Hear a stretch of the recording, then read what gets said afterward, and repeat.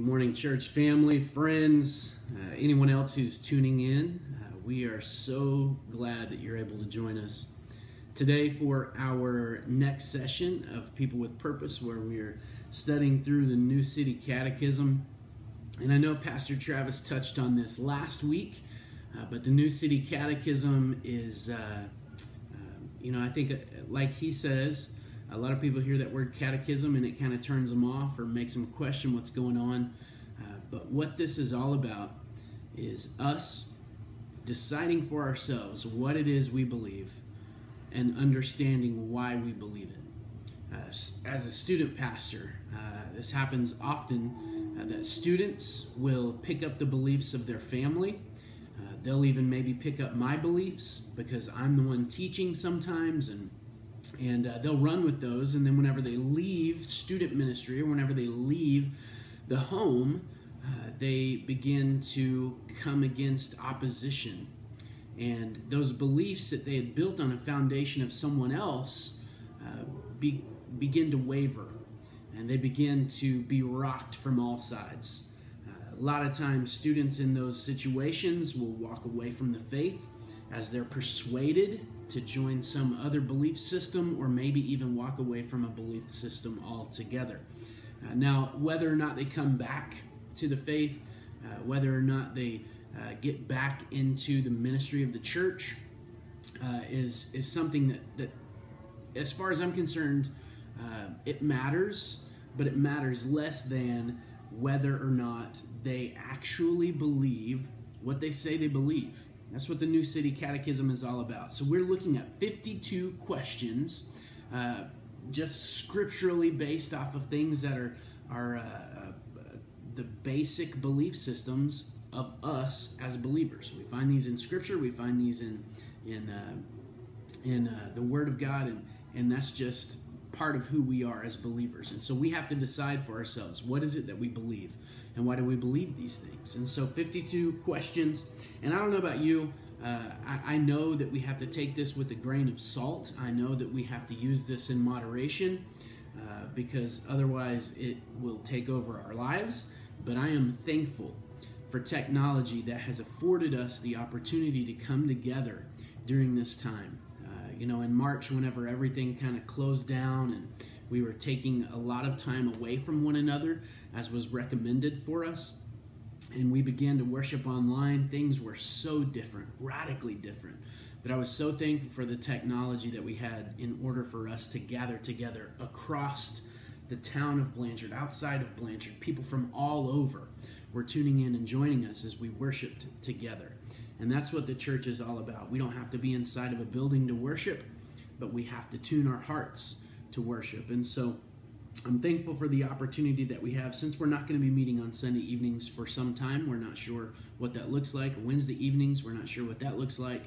Uh, continue to join us on Sunday mornings if you're able physically. If you're not, join us online. Facebook uh, is a great way to join us as well. But in the meantime, this is a great opportunity for us to join together for people with purpose, students with purpose, kids with purpose, as we look at what it is that we actually believe why we actually believe those things. So we're on question number 19 this week. And here's the question. I'm going to read the question and the answer, and then we're going to talk about it for just a little bit. So bear with me. Question number 19 uh, Is there any way to escape punishment and be brought back into God's favor? You see, last week, question number 18, we learned that we are all under the punishment of God because of who we uh, are, what we are. We're sinners. Uh, each one of us has fallen away. We've learned about sin. We've learned about what God is. We've learned about um, uh, the punishment that comes along with sin. And, and, we know that God is a just God and He cannot allow sin to go unpunished, um, which was question number 18. But question number 19 says, Is there any way to escape punishment and be brought back into God's favor? Which is a great question because if we leave it at all sin must be punished, I I'm not going to speak for you because you, you all, you who are watching this video, you are perfect. I'm sure none of you has ever sinned. None of you has ever made any mistakes. None of you has ever done anything that would go against the will of the Father. I'm sure. So I'm just speaking for myself here, maybe. Is there any way to escape punishment and be brought back into God's favor? I sure hope so. Because if not, I'm in trouble. And I might as well just pack everything up and say I'm done with this Christian life because if there's no way for me to be brought back into the favor of the Father, the Creator, the one who loved me, then I might as well just give up and stop trying. Because if there's no way to be brought back into His favor, I have no hope. It's pointless. This life has no meaning.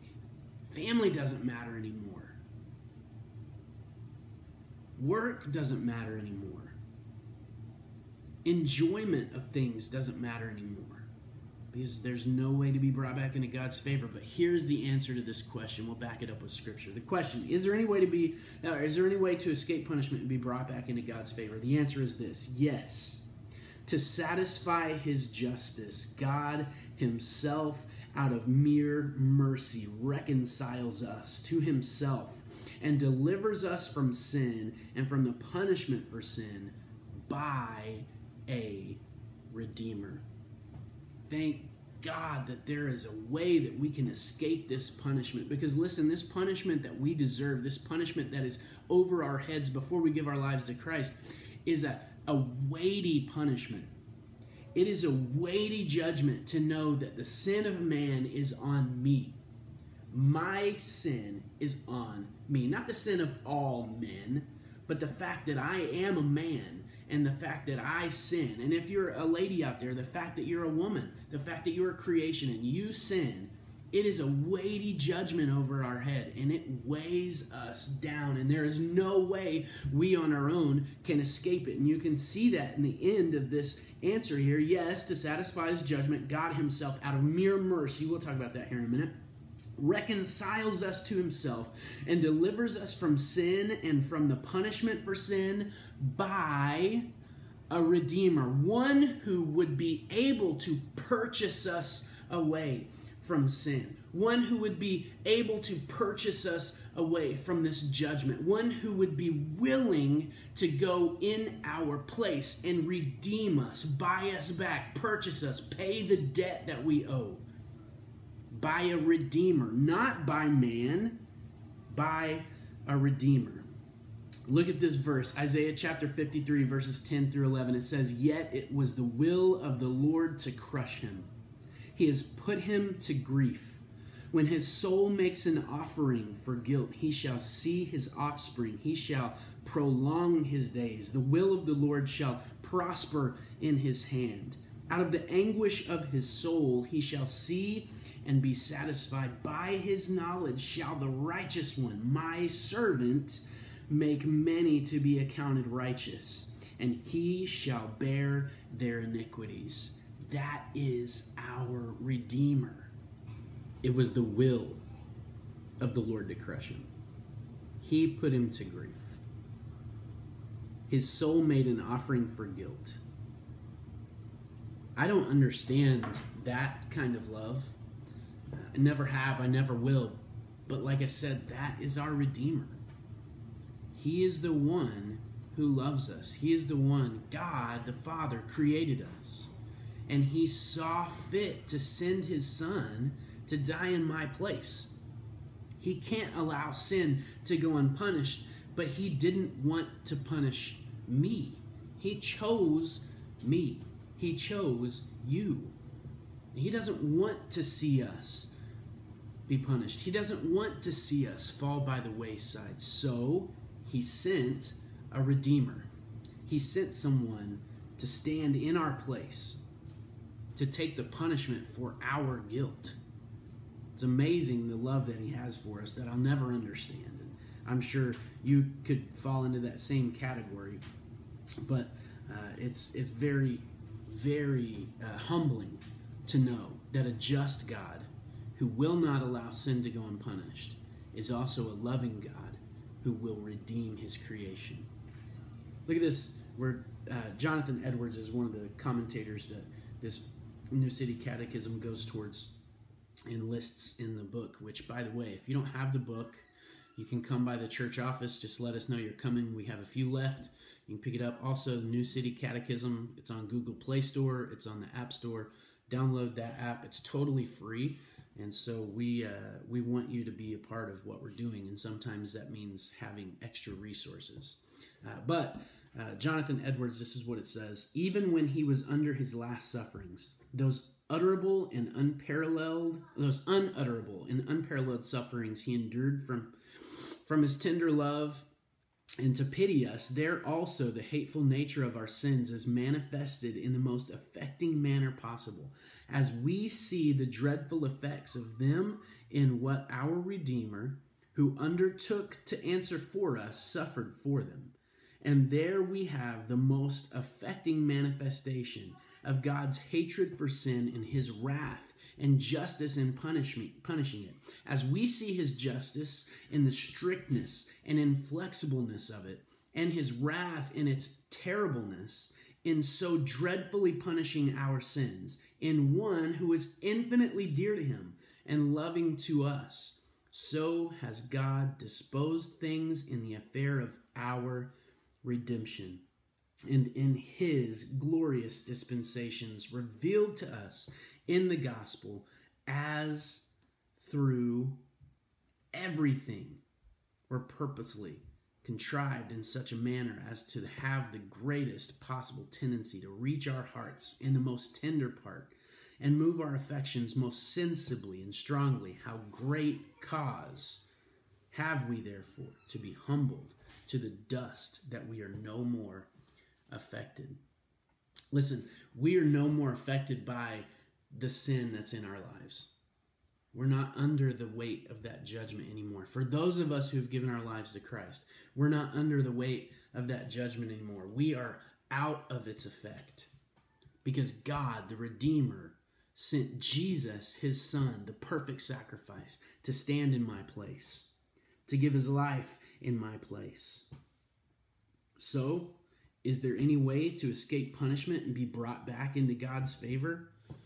Yes, to satisfy his justice, God himself, out of mere mercy, grace, the grace that he has for us, reconciles us to himself and delivers us from sin and from the punishment for sin by a Redeemer. And that Redeemer is Christ Jesus, his Son, the perfect sacrifice for us, an imperfect creation one who would walk away from the one who made us and loves us, knowing that we were still going to be sinners. He sent Christ to die on the cross for us.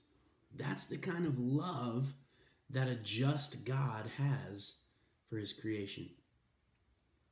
That he would send his son knowing that we were still sinners. That he would send his son to die on a cross for us. Listen, I, I hope that you're following along with us. I hope that you've been with us from the beginning. If you haven't been, download the app, get the book, go through questions 1 through 18, and then watch this video again.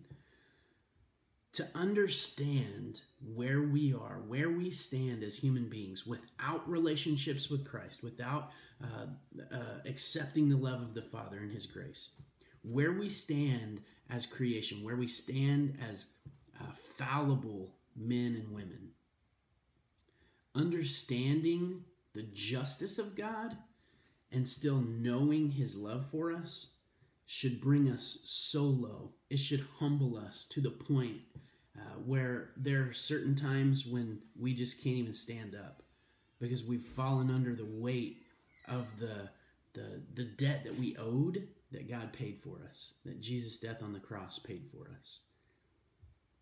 Is there a way to escape punishment? Absolutely but only through Jesus Christ. If you've not accepted him today, if you've not accepted that love today, scripture says that anyone who calls on the name of the Lord will be saved. I want to encourage you. If that's you, if you're watching this video and you're under the weight of sin right now because you haven't began your relationship with Christ, reach out to us. Call the church office today.